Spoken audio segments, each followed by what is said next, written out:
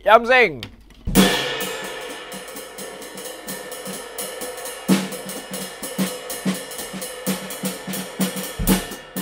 All right.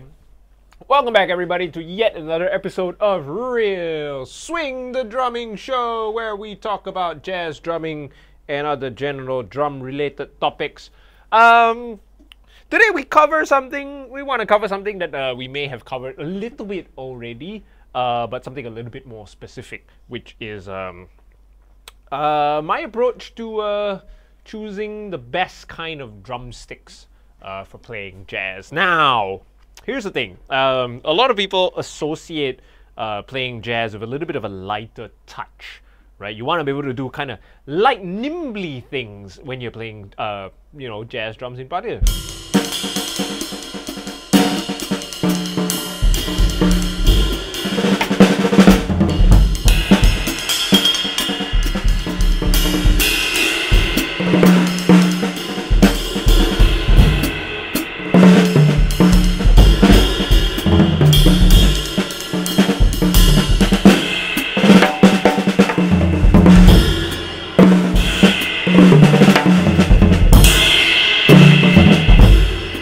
Jazz. always thinking about like light, nimble movement, uh, which is not 100% true, but it is definitely a part of playing jazz, is uh, getting that, that lighter touch. But the thing is that a lot of people associate this lighter touch sometimes with lighter sticks. So, you know, a lot of people say, oh, I'm gonna play jazz, I'm gonna use my 7 A's, uh, I'm gonna pick up my 7 A sticks, I can't use my 2 B's, uh, blah, blah, blah. I, I don't mean that you sound like that. It's just that I have heard that before. anyway, so um, give you a bit of history. Back when I first started playing drums, I was kind of obsessed with bigger and bigger sticks. Like I would start off with a, a typical 5A pair of sticks, and then I would see, you know, those um, drum catalogs and magazines that had like longer sticks and I would get obsessed with them. Like I wanted the bigger, longer sticks because for some reason, I think it's based on like my own perception of my grip and where I hold the sticks. Drummers in videos that I watched looked as if their sticks were huge and long and fat and you know, uh, like for instance, the first time I saw Jojo Mayer play, uh, his sticks looked absolutely enormous in his hands. I don't know if he's he's got small hands or if he just you know some drummers just hold the stick like way back here so that it looks like really long in their hands. Whereas I hold my stick like somewhere up there. I've got a little bit of butt sticking out at the back of my hand. I don't know if that's the case, but I got obsessed with like trying to get bigger and heavier and bigger and heavier sticks. So I used to have these big, huge, fat sticks when I played.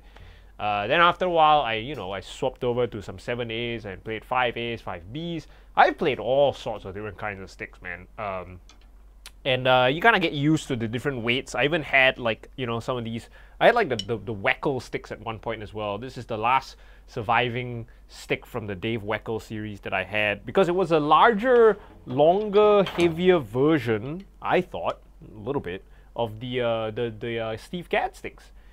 Uh, now, personally, I currently I love the feel of the Gadd sticks. Not just because you know of the the weight. I mean, they are lighter sticks generally. They're closer to seven A's uh, than anything. But it's because it's got a very gentle taper, which I like. Uh, there are some sticks which have a very sharp taper. I mean, the Weckl sticks have a, a little bit of a sharper taper. They taper off, you know, a little bit near the end, whereas the Gadd sticks taper off a little bit sooner. Um, sometimes I have sticks that barely even taper at all. You know, they just like, yeah. So the necks here are still really fat. There's some sticks that taper off, and the necks are really really thin. Uh, but I like the Gadd sticks partially also because I like the way that the tips sound. The barrel tips, they have really nice precision kind of a sound on my ride cymbals, which I absolutely love.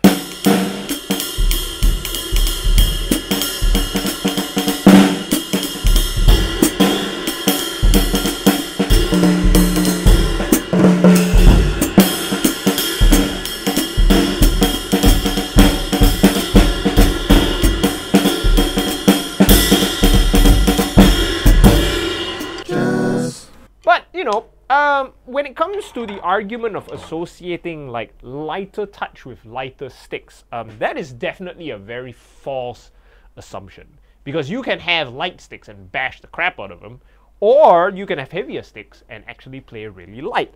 Um, the touch shouldn't really be associated with the weight. Right, give an example. I've got myself here. These are my beauties, my prime real estate. I don't know why I said that. This is such a stupid phrase to use. These are my um, from a legacy from my uh, schooling days. These are the Promark uh, Japanese Shirakashi Oak Millennium 2 Rob Carson Insane Practice Sticks. All right, uh, you know, Rob Rob Carson was uh, my uh, technique instructor at a Musician Institute. I believe he's still there.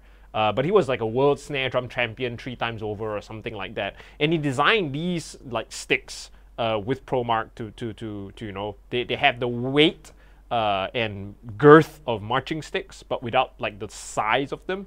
So they're, they're pretty much closer to the length of a regular stick, um, a little bit shorter as well. But the, these guys are like heavy as all heck because they're oak. Oak sticks are generally on the heavier side, but they're heavy as all heck. But even with sticks like these, and I don't recommend them, I don't recommend you take your marching sticks and start playing swing. You might hurt yourself, but you should still be able to achieve this lighter, nimbler touch.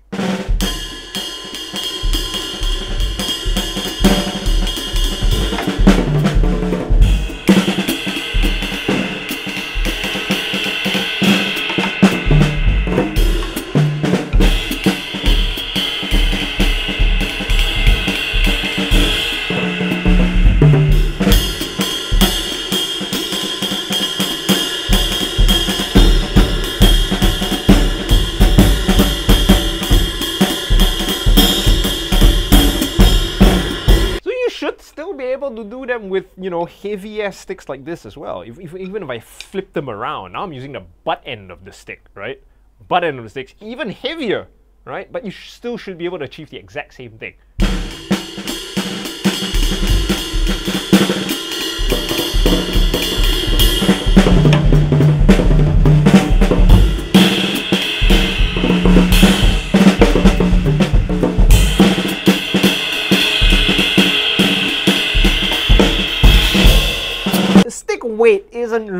Thing that affects the way in which you play um, in terms of like how heavy or light your touch is. All right, it's all really about the level of control that you can have, and you can use any kind of stick, right? Um, any kind of stick, even mismatched sticks. And uh, these are about yeah, Weckl sticks are about a little five A, five, a little bit over five A.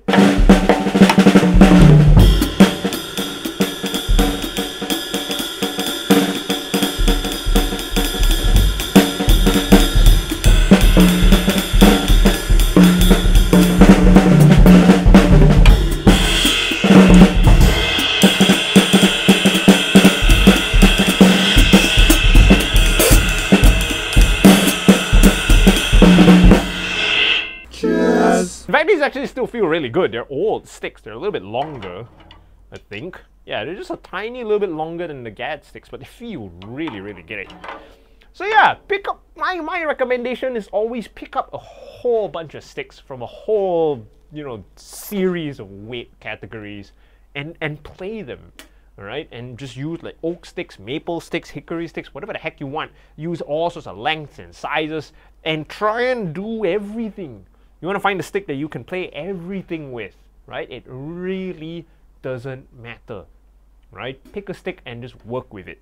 The ones that you do want to avoid, like if you're playing jazz and you want to avoid, is you want to avoid sticks that have pretty much lost their tip entirely. Because once the tip goes, the definition on the sound really goes. And uh, you also want to avoid sometimes uh, the thing that I hate the most when it comes to sticks uh, is is when you get some of these cheaper like weird brand sticks. Um, sometimes I don't know what the heck they're made of, but they're actually springy. Like I don't know if you can see that, but I can bend the stick. they're not very rigid. So when you hit them on the snare drum, they have this weird artificial bounce to them that is just Ugh, it feels weird. It feels like I'm using one of those chopsticks I used to fry mi hoon to play the snare.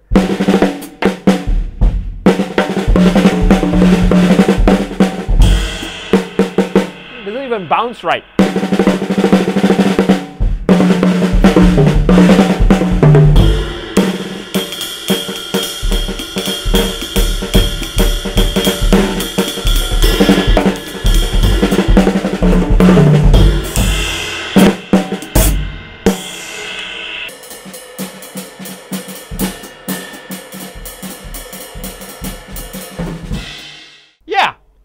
Avoid crappy sticks, definitely, but you don't have to pick a lighter stick necessarily to play a lighter touch. And vice versa, you don't have to pick a heavier stick if you want to play a little bit of a heavier touch. You still should be able to do as smashy, bangy, hit crashy, whatever collection of words you would like to use to describe really hard hitting stuff with the lighter sticks, right? Steve Gadd sticks.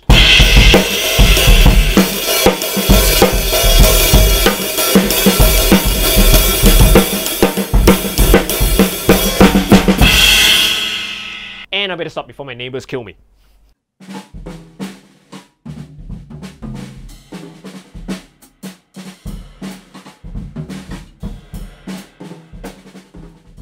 Of course, the ultimate gold standard of making sure you're picking the right stick is if your stick can make you feel good while you're doing this.